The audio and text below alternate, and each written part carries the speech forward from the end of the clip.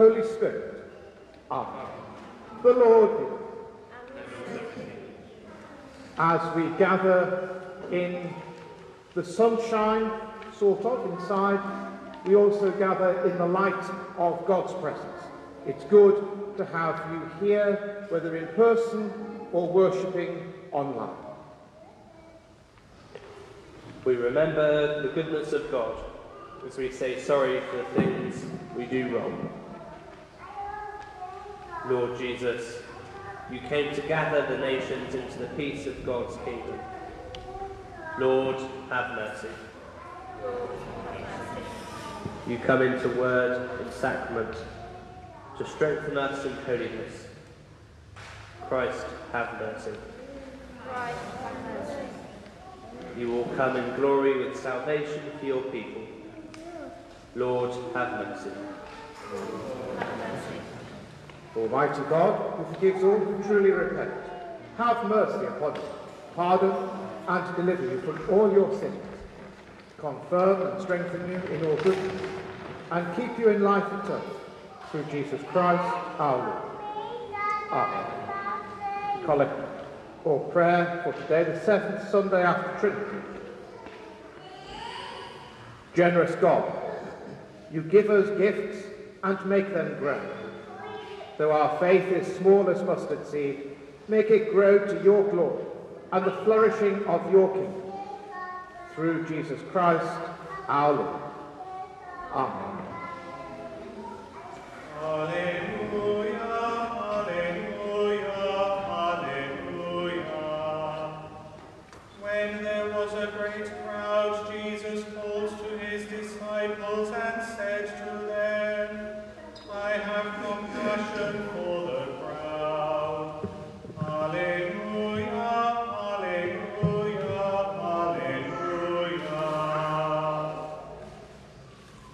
The Lord be with you. A reading from the Gospel according to Mark. The apostles gathered around Jesus and told him all that they had done and taught. He said to them, Come away to a deserted place, all by yourselves, and rest for a while. For many were coming and going, and they had no leisure even to eat. And they went away in the boats to a deserted place by themselves. Now many saw them going and recognized them, and they hurried there on, on foot from all the towns and arrived ahead of them. As he went ashore, he saw a great crowd, and he had compassion for them, because they were like sheep without a shepherd. And he began to teach them many things. When they had crossed over, they came to the land of Gennesaret and moored the boat. When they got out of the boat, people at once recognized him and rushed about that whole region and began to bring the sick on mats to wherever they heard he was. And wherever he went, into villages or cities or farms, they laid the sick in the marketplaces and begged him that they might touch even the fringe of his cloak. And all who touched it were healed. For the word of the Lord. Thanks be to God.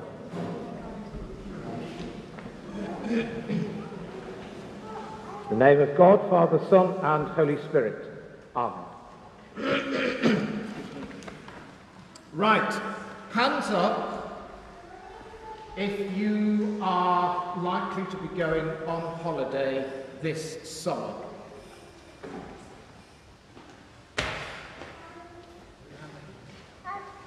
Hands up if you are looking forward to going on holiday this summer. You are. Excellent. Hands up if you think you've been working so hard that you need a rest.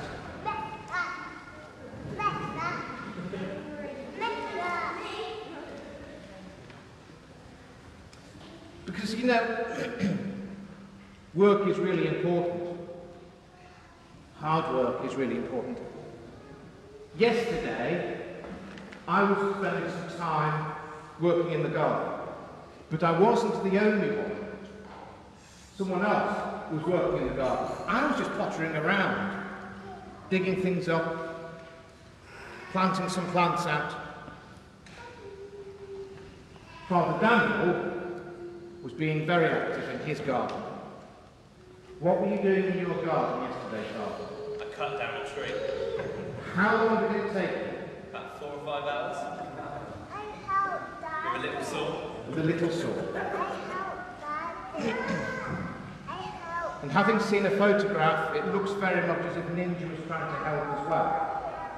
It Might have been more of a hindrance, but you know, dogs sometimes don't really understand the concept taking trees down. When you got to the end of cutting that tree down, did you feel exhausted? Pretty exhausted, but also felt happy because I could see my happy. work. Excellent. Did you feel, when you finished cutting that tree down, that you needed a rest? Yes, I did have a rest. You did have a rest. Brilliant. You give really good answers here. You're very well done. Father Daniel worked really hard in the hot weather cutting down a tree.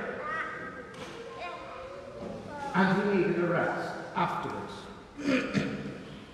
Put his feet up, chill out. Can you think of anyone else who suggests that now and then we all need to have a rest? Who might suggest that we need sometimes to have a rest? Well done, Jesus. Now, Jesus walked around just like me, just like you. There's nothing in the Gospels about Jesus cutting down trees, but he did work really hard. And even Jesus, now and then, needed just his own space. He needed to go away, to lie down, to put his head down, go to sleep, and rest. And if Jesus needs to do that, if now and then Jesus needs. Shall I do that again?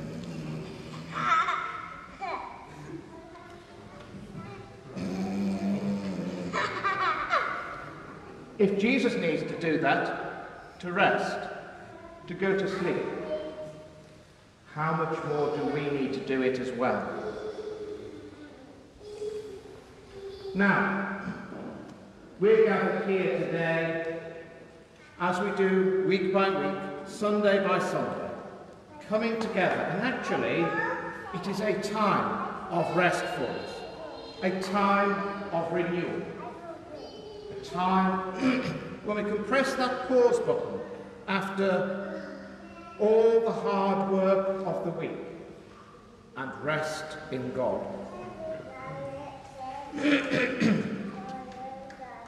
Sometimes, when we're very small and we want to rest, we might possibly have a rest or doze off by being cuddled by mum or dad, two examples here. And in a way, that's what God does with us. Jesus encourages us to come to God, to be hugged by God, and to rest with Him.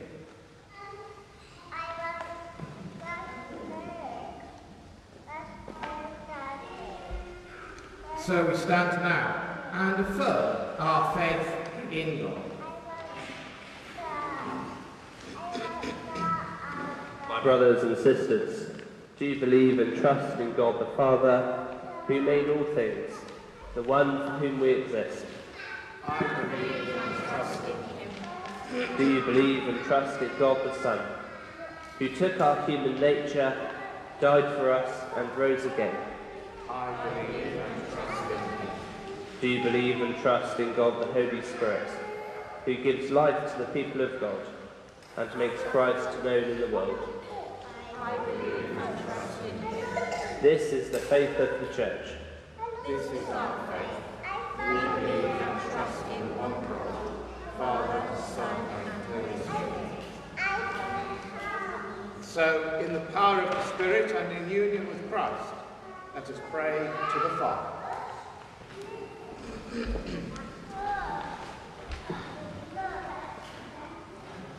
Lord, your compassion for the crowds that swamped you was ever present. We bring before you now our brothers and sisters around the world, places where churches are being destroyed and places where many are being threatened with guns. We pray for all Christians, for all victims of prejudice here and worldwide. Lord of all righteousness and peace, we pray for a renewal of compassion and unity. Lord, you took your disciples away from the crowds to rest and find refreshment. We pray for your church today, for all clergy and lay ministers, and all to whom you have given the responsibility of leadership. We ask that you help them to find or regain a healthy balance amid the rhythm of life's rushing and resting. Lord of all righteousness and peace, we pray for a renewal of compassion and unity. We pray for the bereaved and all those who are sick in mind, body, or soul. For all those burnt out by rushing around caring for others without giving thought for their own self care. We pray for all those anxiously awaiting long overdue operations and all those who are having to find new rhythms of life at this time due to suffering long COVID. Lord of all righteousness and peace, we pray for a renewal of compassion and unity. We pray to you for all in our communities who find life transitions difficult and daunting, for refugees settling into new places, young adults leaving care and forging their own life. Lord of all righteousness and peace, we pray for a renewal of compassion and unity. As restrictions lift, we pray for those preparing to go back to the workplace rather than working from home. Those who have been stressed trying to balance work amid family life in lockdown. We pray to you for all as they attempt to restore or find a new balance. Lord, of all righteousness and peace, we pray for a renewal of compassion and unity. Merciful Father, accept these prayers for the sake of your Son, our Saviour Jesus Christ. Amen.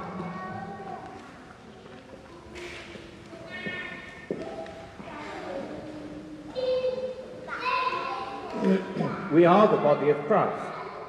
By one Spirit, we are all baptized into one body. Let us then pursue all that makes for peace and builds up our common life. My brothers and sisters, the peace of the Lord be always and also with you. Let us offer one another a socially distant sign of Christ's peace.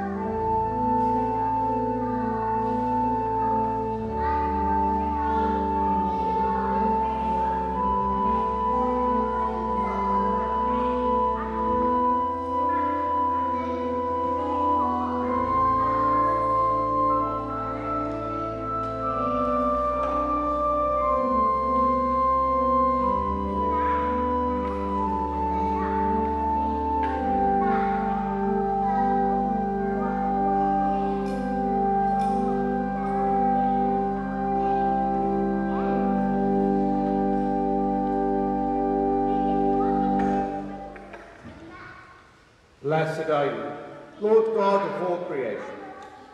Through your goodness we have this bread and wine to offer, which earth has given and human hands have made. It will become for us the bread of life and cup of salvation. Blessed be God forever. The Lord. Lift up your hearts. Let us give thanks to the Lord our God. Lord of all life, you created the universe, where all living things reflect your glory. You give us this great and beautiful earth to discover and to cherish. You give us happy times and things to celebrate. In these we taste your kingdom, a feast for all your children. You made us all, each wonderfully different, to join with the saints and angels as we sing your praise, saying, Holy, holy, holy Lord, God of power and might, heaven and earth are full of your glory. Hosanna in the highest. Blessed is he who comes in the name of the Lord. Hosanna in the highest.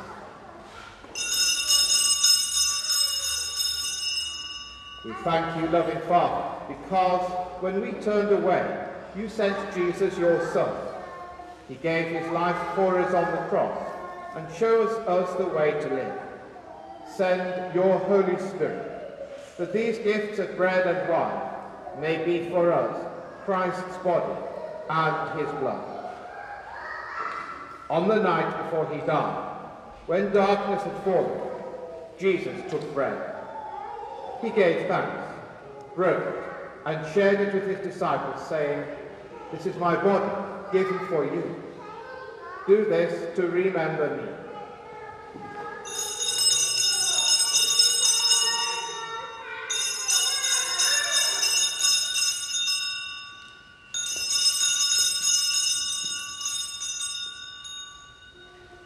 After they had eaten, he took the cup of wine, gave thanks, and shared it with his disciples, saying, This is my blood, poured out for you and for many, for the forgiveness of sins.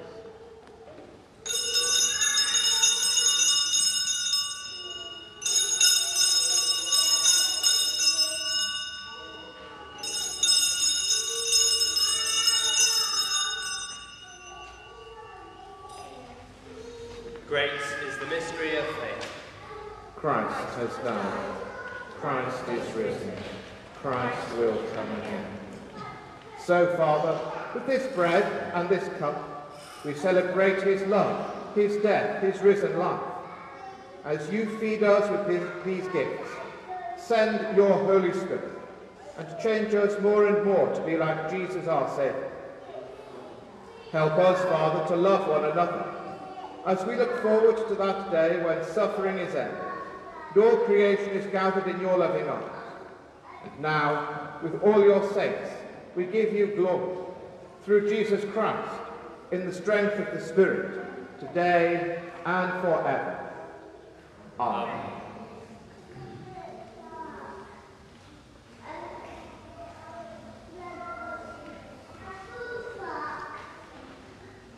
Jesus taught us to call God our Father.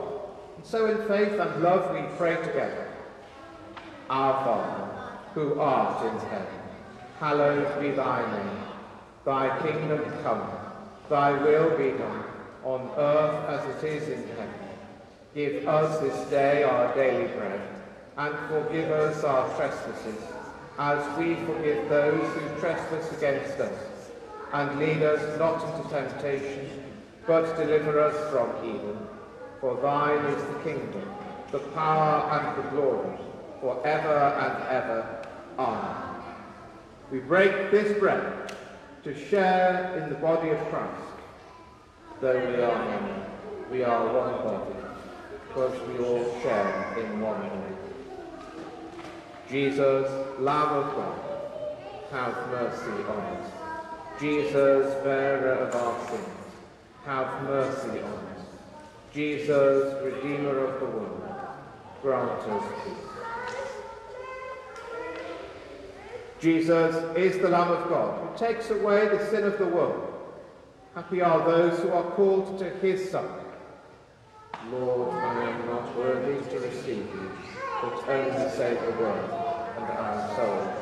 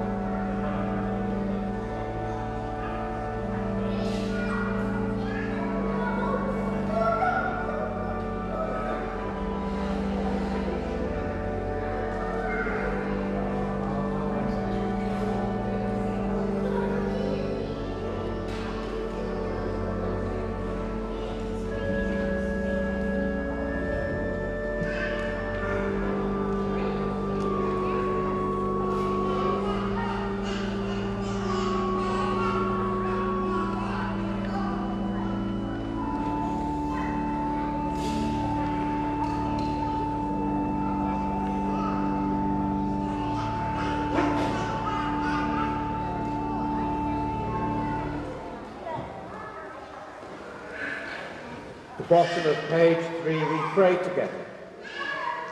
God of truth, we have seen with our eyes and touched with our hands the bread of life.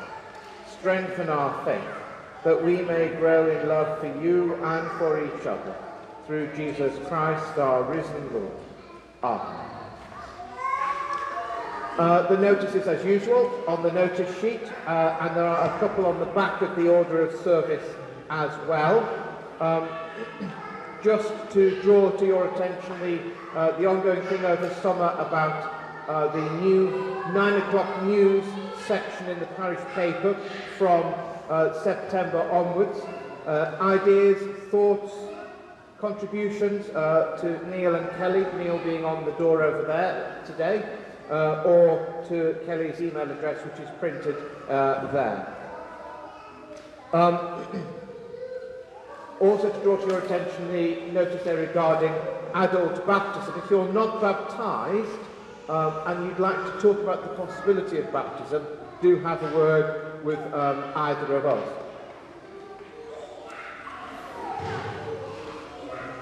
Restrictions uh, lift tomorrow in England.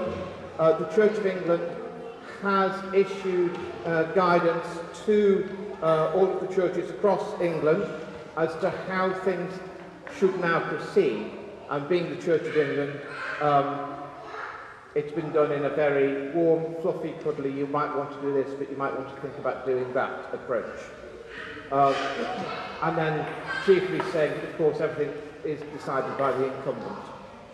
Nice. Um, Father Daniel and I will be meeting early this week just to look at how things can begin to change and move back. One of the things that they do say, and we will be following, is that not to do absolutely everything at once. Uh, so we'll be following the advice from the government scientific officers of adopting the cautious approach. Um, obviously because we don't know how things are going to pan out, um, and certainly uh, cases in the borough are going up. Uh, and we're now, we're now one of the highest uh, boroughs across London with cases of COVID. So we will be playing things in a cautious way, um, but we will be returning slowly to some form of normality. One of those bits of normality is the signing in for school. Um, we've been able to sort of hold back from that throughout the pandemic, but we are moving back to it with the agreement of the school uh, for the next couple of, sometime in the next couple of weeks. Um, the form has been redesigned and we will ask you if you want a place at the school uh, to start signing in once again uh, either this service or whichever service you come to. I think that those are all the notices, except to say, of course, that one of the things, this is really important, uh, one of the things that the guidelines do say we can do is to start to have refreshments again. Um, today's server got very excited about that. Yes, that means biscuits after, after Mass again.